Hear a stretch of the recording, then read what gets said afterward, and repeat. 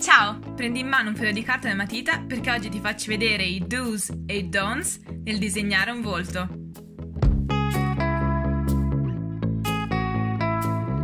A sinistra vi farò vedere i don'ts, dove racchiuderò in un disegno simbolico tutti i principali errori che vedo fare ai principianti.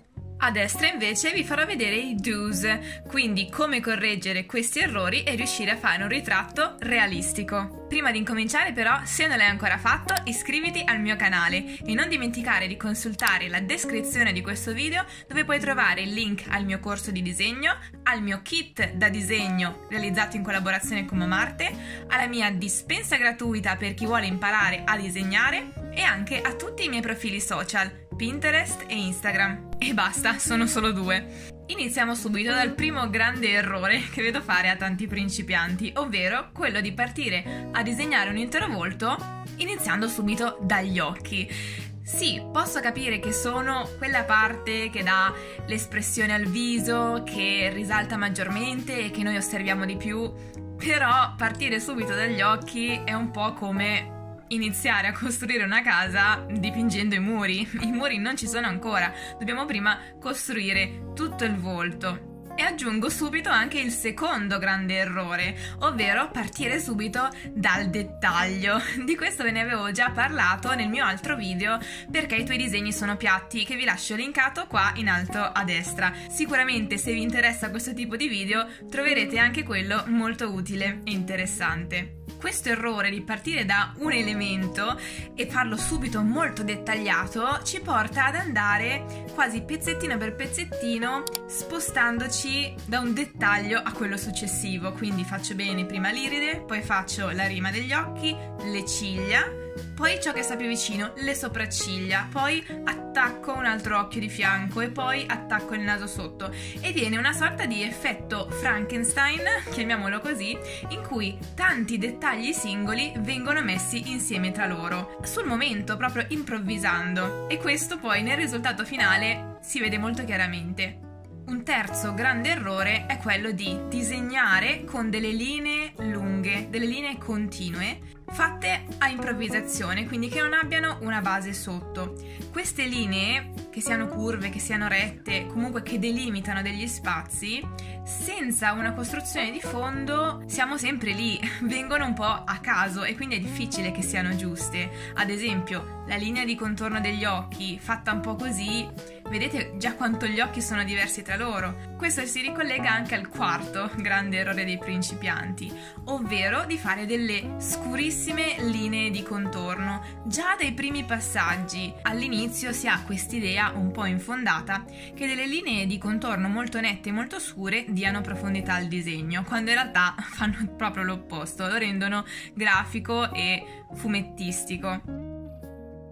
Il quinto grande errore è quello di disegnare i pezzi del volto come ci immaginiamo che siano, senza guardare realmente come sono nell'immagine di riferimento. Qui ad esempio sto disegnando delle labbra molto grafiche della classica bocca che possiamo disegnare anche ad occhi chiusi, perché un errore che si fa all'inizio è non guardare tanto l'immagine di riferimento quanto il proprio disegno. Quanti principianti ho visto che guardano solo il loro disegno e non guardano in realtà all'immagine che stanno copiando? Ma come fai a sapere com'è quella cosa se prima non la guardi?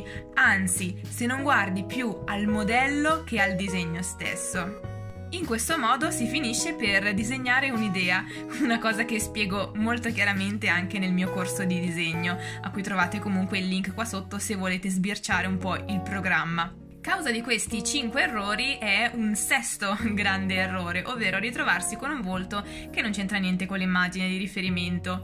Certo, l'immagine può essere un indirizzo verso cui andare e poi l'artista rende il volto come gli piace a lui, ma comunque questo volto deve sembrare realistico, deve sembrare un volto possibile. Non deve essere così chiaro come in questo caso che è un volto sproporzionato, impossibile che esista e quindi scorretto.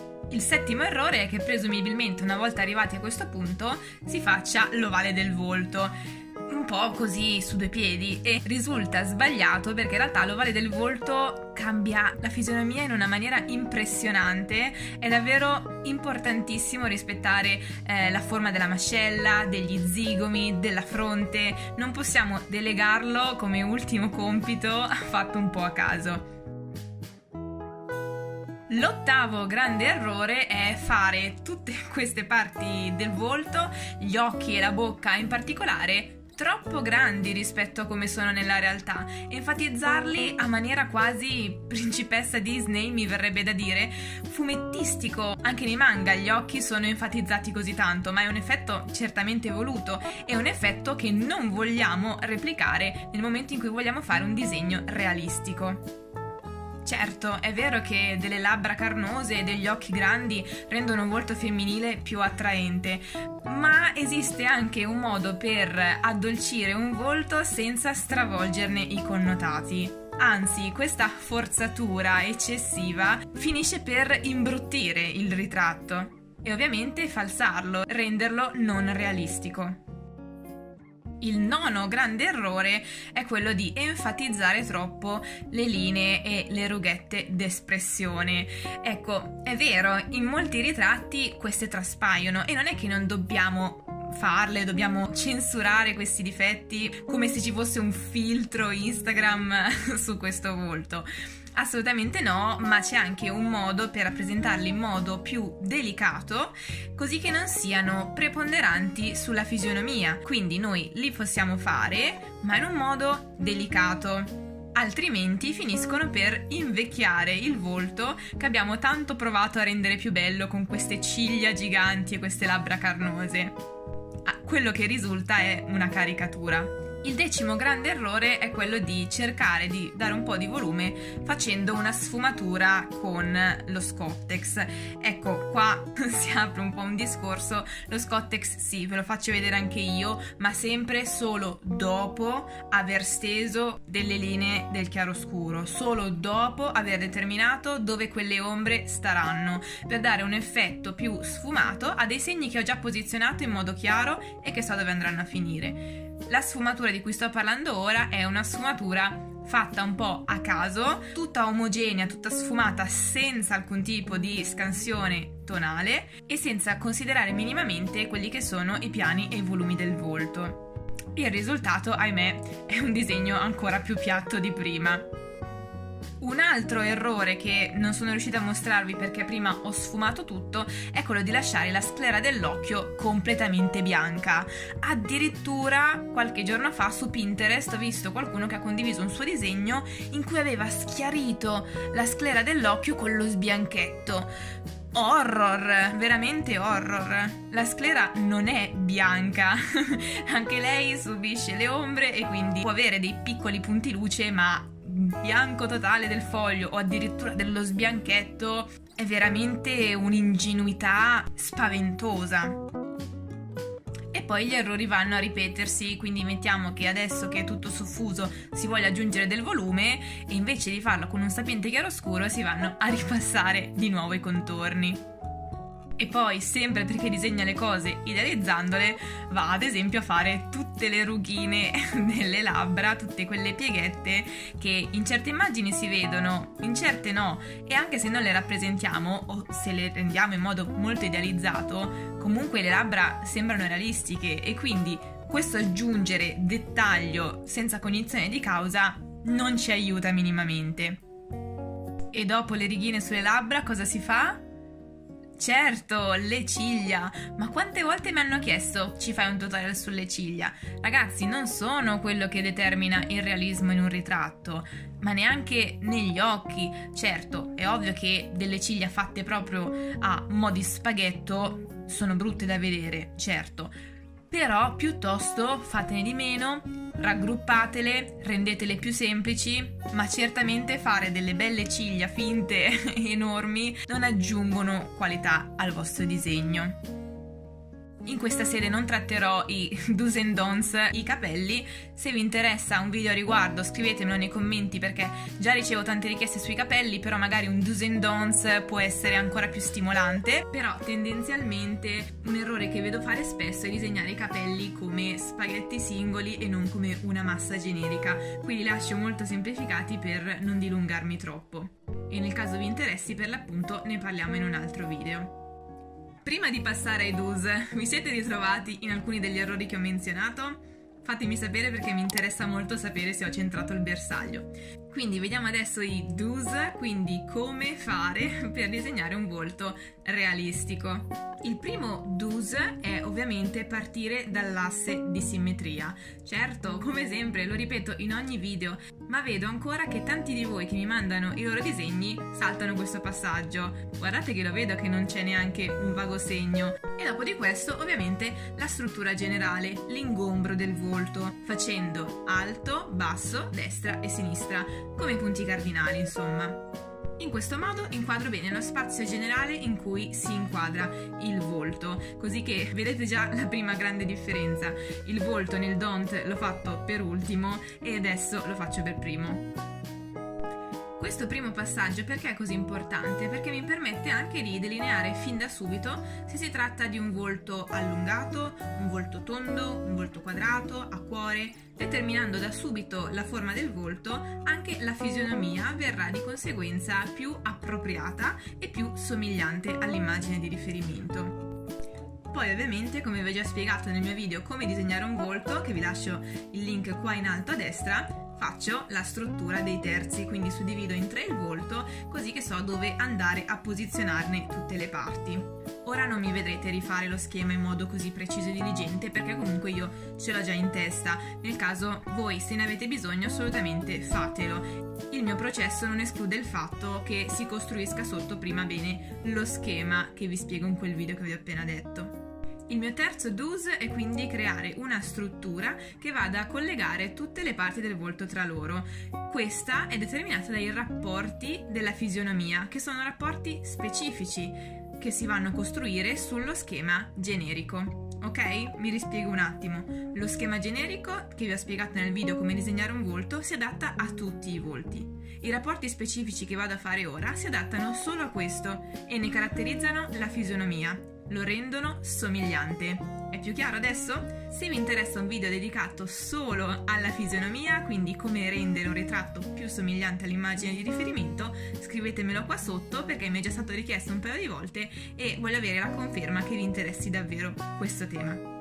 Lo schema di base è chiaramente da memorizzare in modo che quando disegniamo riemerga inconsciamente. Il problema dello schema però è che rende il volto un po' statico, lo rende standardizzato e quindi questo se in un momento iniziale ci aiuta a rendere il volto più realistico, in un secondo momento in cui l'abbiamo imparato ci allontana dal volto specifico che stiamo andando a rappresentare e quindi utilizziamo quel mezzo per poi abbandonarlo gettiamo la scala dopo esserci saliti sopra. Il quarto do è andare per segni vaghi, leggerissimi, che vanno a inquadrare una zona in cui sarà poi il mio segno definitivo. Vedete come invece di fare delle linee di contorno faccio delle zone di tratteggio. Il processo che andrò a fare mano a mano è andare a scartare quelle parti meno specifiche per andare a evidenziare dei tratti più scuri, più netti e precisi che vanno a determinare una forma più delineata. È un processo che va per gradi e stratificazioni di segni. Una volta che ho impostato il mio disegno con dei tratti molto leggeri, intuitivi e indicativi, controllo come sta andando, quindi vado a vedere se i segni che ho fatto finora vanno bene oppure che cosa dovrò andare a modificare. Questa è la fase del disegno in cui bisogna fare le correzioni. È un momento cruciale per andare a individuare cosa andare a cambiare nel proprio disegno Ma perché proprio in questo momento? Perché non abbiamo fatto ancora dei segni importanti, non ci siamo ancora impegnati così tanto e quindi andare a cancellare o a correggere non ci pesa più di tanto. Invece se ci ritroviamo alla fine con un disegno ben rifinito e perfetto e ci rendiamo conto solo in quel momento che c'è qualcosa da cambiare oppure c'è proprio tutto da cambiare, ecco lì andare a correggere e cancellare ci pesa un pochettino di più. Quindi una volta che ho controllato che i rapporti proporzionali del volto siano corretti nella distanza tra gli occhi e il naso, tra il naso e la bocca, tra gli occhi e la bocca e tra le singole parti interne del volto e i bordi dello stesso, quindi vedete che già questa immagine così vaga e soffusa sembra un ritratto molto più realistico di quello di fianco in cui abbiamo messo molto più lavoro, molto più sforzo impiegato nella direzione sbagliata. E vedete già quanto è cambiata la fisionomia. È molto più somigliante all'immagine di riferimento. Riprendendo il discorso di prima, quindi una volta che abbiamo controllato che tutti i nostri segni siano ben posizionati e che quindi le proporzioni siano rispettate correttamente, andiamo a rimarcare i segni dei dettagli strutturali, quindi a definire meglio le parti di ogni singolo elemento del volto con dei tratti più marcati, più scuri, ma non delle linee di contorno. Fate bene attenzione a questa differenza. E riguardo a queste linee, vedete come diversamente da prima non si tratta di linee lunghe, curve e continue, ma di segmenti che vanno ad unirsi tra loro, piccoli tratteggi di diversa intensità che vanno a enfatizzare alcuni punti piuttosto che altri.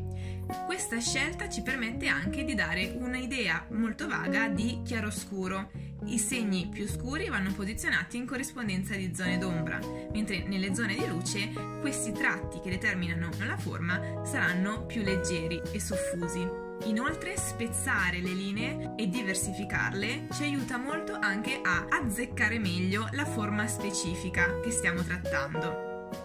Il prossimo dus, scusatemi ho perso il conto, è quello di guardare molto più l'immagine di riferimento nostro disegno, studiarla, cercare di disegnarla con lo sguardo quasi, così che poi quando ci spostiamo sul foglio disegniamo esattamente ciò che abbiamo visto e non ciò che pensiamo di vedere, come abbiamo fatto sbagliando nel don't. Quindi la sagoma della bocca sarà dettata solo e soltanto da ciò che vediamo. Se vediamo una bocca quadrata, la faremo quadrata, fidandoci della nostra percezione. Inoltre, un altro do importantissimo è se non vediamo i dettagli, non serve farli. Lo ripeto un'altra volta. Se non vediamo i dettagli, non serve farli volevo fare un po' di rima ma non ci sono riuscita. Se in queste labbra non vedo le pieghettine ma vedo invece delle ombre che determinano un volume, ecco, sono quelle che vado a fare. Se poi solo successivamente negli ultimi passaggi vorrò aggiungere dei dettagli, questi siederanno sopra un volume già fatto in precedenza e quindi lì sì che avranno senso di esserci perché completeranno un'immagine che ha già un volume. Altrimenti, come il disegno che vedete qua di fianco, non aggiungono nessuna informazione né di realismo né di fisionomia né di volume al disegno.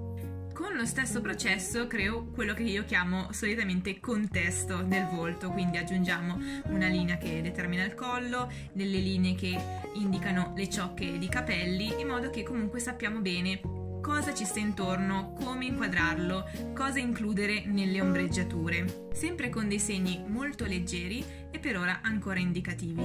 Ora che ho dato un po' di contesto al volto, posso andare ad aggiungere dei dettagli, come vi dicevo prima, sulla struttura di base che ho già fatto. Quindi solo in questo momento vado a definire un pochettino meglio il chiaroscuro degli occhi, dell'iride, della sclera, la rima inferiore, le ciglia, e a questo punto posso partire con il chiaroscuro. Vi ho fatto vedere come faccio il chiaroscuro nel mio video chiaroscuro in 5 step, di cui vi lascio il link qua in alto a destra, quindi vi rimando assolutamente a quello per capire come dare volume a un volto attraverso il chiaroscuro e soprattutto come riuscire a distinguere i valori tonali. Quindi diversamente da prima vado con delle passate di una campitura uniforme che vanno a sovrapporsi e a stratificarsi dove è necessario aggiungere dell'intensità nelle ombre. Eventualmente, se volessi andare a sfumare, adesso potrei farlo solo nelle zone in cui voglio dare un effetto più sfumato e ovviamente ora con cognizione di causa. Ok, quindi solo ora che siamo un po' avanzati nel disegno vado ad aggiungere le ciglia proprio con i segni dei peletti perché adesso si può iniziare ad aggiungere tutti quei dettagli che però fino a questo punto erano assolutamente superficiali. Insomma, si va per priorità, quindi partendo dal generale, che è ciò che è più importante, si passa al più piccolo dettaglio, che ai fini compositivi generali è ciò che conta di meno. Continua così intensificando il chiaroscuro e aggiungendo dettaglio al ritratto.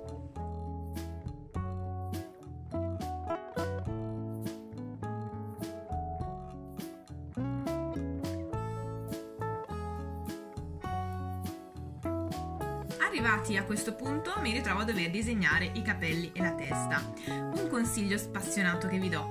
Se siete ancora all'inizio fate fatica a individuare bene la sagoma della testa, a fare bene tutti i capelli, non complicatevi la vita, è meglio fare qualcosa di semplice ma posizionato bene che andare a cercare di fare chissà che cosa senza avere un metodo e poi finire rovinando magari un bel disegno che avete fatto fino adesso.